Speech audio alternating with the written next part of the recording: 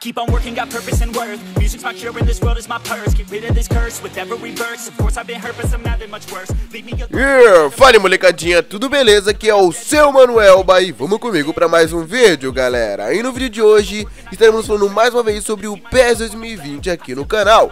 Porque por incrível que pareça, né pessoal, você não leu o título errado, temos uma bomba para falar para vocês porque a Konami nos acordou com uma excelente informação. Simplesmente a Eurocopa 2020 está confirmadíssima e já foi anunciada por parte da Konami. Por incrível que pareça, né pessoal, nós falamos disso no vídeo de ontem e logo hoje a Konami já nos acorda com essa incrível notícia e hoje você vai saber todos os detalhes dessa parceria aqui comigo. Além disso também nós falaremos um pouquinho sobre as novas lendas que serão incluídas, que inclusive foram vazadas lá da base dados do jogo e você vai saber todas elas aqui comigo. Já deixa o seu like também se inscreve no canal para não perder mais nenhuma informação sobre o PES 2020 e também FIFA 20. E bora lá! A loja Nova Era Games já está realizando a pré-venda do PES 2020 e do FIFA 20. O preço que já é baixo fica ainda menor se você utilizar o cupom de desconto MANUELBA. Então vai lá e garanta já o seu pelo menor preço da internet. Corre que é por tempo limitado, o primeiro link na descrição. Primeiramente, vamos começar a falar sobre as lendas, sim, que estarão presentes no jogo. Não é certeza que elas estarão, mas sim são as lendas que estão prontas na base de dados. E sim, lá a base de dados, como vocês, como vocês sabem, é meio que um preset para a versão final. São coisas que já foram produzidas, que só estão esperando mesmo o aval da Chrome para ser incluída na versão final. E sim, foi liberada a lista completa de Legends. Isso já faz um tempo que foi liberado, já faz umas duas semanas, porém, eu tenho recebido muitos questionamentos de vocês quanto a lendas, quanto a Legends, então eu achei legal trazer para vocês essa lista aqui de todas as lendas que estão presentes na base de dados, sim, são as lendas que devem chegar no PES. Vocês estão vendo na tela, pessoal, a lista completa que inclui Diego Maradona, duas versões do craque, também temos Johan Cruyff, Zico, Romário, Ronaldinho também com duas versões suas, também temos Baresi, Maldini, Oliver Kahn, Gullit, Beckham com suas duas versões, ele mais velho e ele mais jovem. Também temos Batistuta, Adriano Imperador, Nedved, Vieira, Roberto Carlos, Totti, Delo Piero, Figo, Choulos, também temos Matal, Zanetti, Recoba, Raí, Cafu, Bebeto, Abiati, Lugano, Massaro, Gilberto Silva, Petit, Stankovic,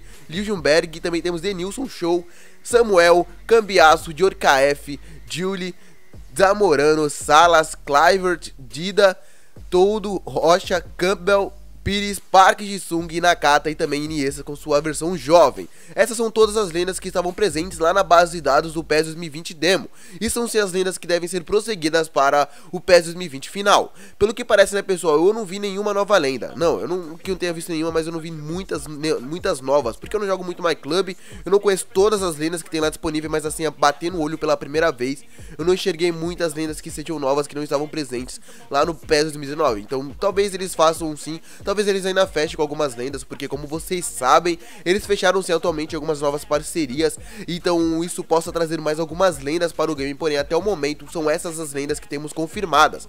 Então são essas as lendas que serão prosseguidas para o PES 2020. Eu vi muitas pessoas pedindo Pelé, mano, Pelé, muitas pessoas querem um Pelé como lenda, mas eu acho que pela imagem que o Pelé tem, a Konami ia ter que pagar uma boa grana para trazer ele ao game. Mas é claro que não é uma ideia inviável, né, pessoal? Seria bem legal ter o Pelé como lenda, ele que é o principal jogador de todos os tempos tempos. Tem o Maradona, né, mano? Tem um, por que não tem um Pelé, cara? Por que, que não tem um Pelé? Então vamos esperar para ver quais as próximas lendas que nós receberemos nos próximos meses. E agora vamos falar sobre coisa boa, sim, simplesmente hoje pela manhã a Konami se anunciou de forma oficial a simplesmente a Eurocopa 2020. Por incrível que pareça, cara, nós falamos disso no vídeo de ontem. Sim, no vídeo de ontem eu, tô, eu dei essa suposição, até então não tínhamos nenhum indicativo que demonstrasse isso. Eu trouxe pra vocês falando que talvez isso poderia acontecer. Esse torneio, pessoal, que estará se iniciando dia 12 de junho de 2020, ou seja, falta quase um ano, a Konami já aproveitou para fazer esse anúncio. Ele não terá uma sede fixa e se enrolará nos principais países lá da Europa. Simplesmente, pessoal, hoje começa assim a Gamescom, que é é a maior feira de games do mundo, quem não sabe, que é realizada todos os anos lá na Alemanha. E assim, pessoal, que eu trago a informação a vocês que o Pro Evolution Soccer anunciou oficialmente que a maior competição de seleções lá da Europa estará totalmente licenciada no eFootball PES 2020. Com essa parceria, pessoal, a UEFA, o PES se torna-se um jogo oficial que será usado para o novíssimo torneio de eSports e Euro 2020, ou seja, esse campeonato que é cedido pela própria UEFA será jogado no Pro Evolution Soccer com o torneio e suas seleções licenciadas. Porque isso dá uma visibilidade gigantesca, uma visibilidade mundial para o Pro Evolution Soccer. E a partir desse ano, né, pessoal? Mano, a Konami e os Japas vieram para brigar com, como cachorro grande com a própria EA Sports. É claro que as licenças são fundamentais para os games de esportes virtuais e também, pessoal, para causar mais impacto nos games. Né? O investimento está sendo pesado, cara, para esse ano de 2020, né, velho? Porque conforme anunciaram, a atualização, pessoal, chegará via DLC no ano que vem, em 2020, contará com mais de 50 50 seleções, velho. Simplesmente isso. Como vocês sabem, eu acho que funcionará da mesma forma como foi a Eurocopa 2016. E que a versão do PES 2016 foi lançada alguns meses após seu lançamento, logo próximo do início do torneio, a Konami se lançou uma DLC, sim, incluindo todas as seleções do torneio, muitas novas faces para as seleções que jogaram o torneio, os estádios também do torneio e também seus placares oficiais, que ficou uma imersão muito bonita, velho. Que nós pedíamos anos a isso e eles incluíram sim um uma UEFA Eurocopa 2016 exemplar e esperamos que eles vão pelo mesmo caminho, se não melhor, nesse ano de 2020. Fala isso, pessoal, notícia que chega que viram todos os estádios licenciados da UEFA Euro 2020. E também a lista de estádios que estará assim na competição é o estádio de Wembley, na Inglaterra, também o Allianz Arena, lá na Alemanha, também temos o Arena Johan Cruyff da Holanda, estádio olímpico da Itália, também temos o estádio olímpico de Baku, Além disso, pessoal, também temos o estádio de Krestovski, que é lá na Rússia, Arena Nacionala. Sim, acho que é esse nome, né, cara? Na Romênia, a Viva Stadium na Irlanda, San Mamés, que é na Espanha. Também temos o estádio Ferenc Puskas. Além disso, também, pessoal, temos o estádio Hampden Park, que é lá na Escócia, e também o estádio Parken Stadium lá da Dinamarca. Bom, pessoal, vamos, a, vamos ver se isso realmente, se todos os estádios viram mesmo no game, porque qualquer mudança eu trarei para vocês futuramente. Como vocês puderam perceber, não tem uma sede fixa, ou seja, cada estádio terá uma cada país, uma cada localidade localidade localizada lá na Europa. Então cada estádio é em um país diferente. Então eu não sei se isso é muito interessante, né, cara, para um torneio assim tão curto, que dura um mês, né? Porque são muitas viagens para os jogadores e acaba sendo algo muito cansativo. Tudo bem que a Europa fosse como um Brasil, né? Então eles têm que viajar para localidades próximas.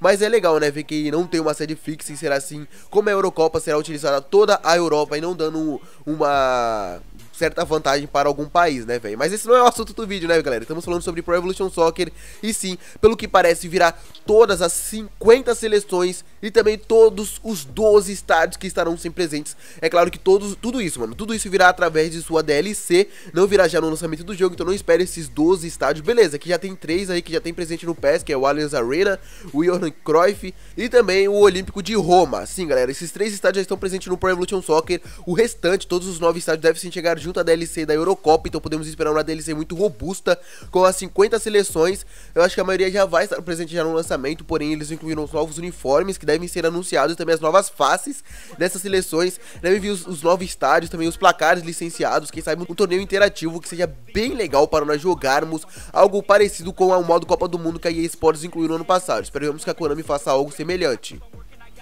Bom, pessoal, muito interessante, né? Lembrando que está rolando a Gamescom lá na Alemanha nesse exato momento e sim, teremos muitas informações para trazermos futuramente para vocês.